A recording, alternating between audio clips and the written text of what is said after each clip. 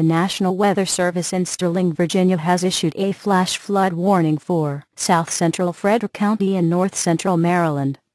Northern Montgomery County and central Maryland until 1 a.m. Eastern Daylight Time at 9.52 p.m. Eastern Daylight Time. National Weather Service radar indicated flash flooding from thunderstorms in western Montgomery County moving east at 10 miles per hour.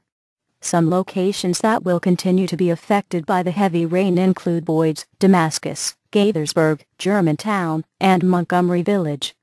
Flash flood-prone areas which will be affected include Crisford Road near Locust Run, Pleasant View Road near Tuscarora Creek, New Design Road at Nolan's Ferry Road, Gold Mine Road at Chandlee Mill Road, Zion Road at Hawlings River, Log House Road at Magruder Branch, Georgia Avenue at Brookeville Road, Woodfield Road at Churchill Downs Road. Precautionary actions. Do not drive your vehicle into areas where the water covers the roadway.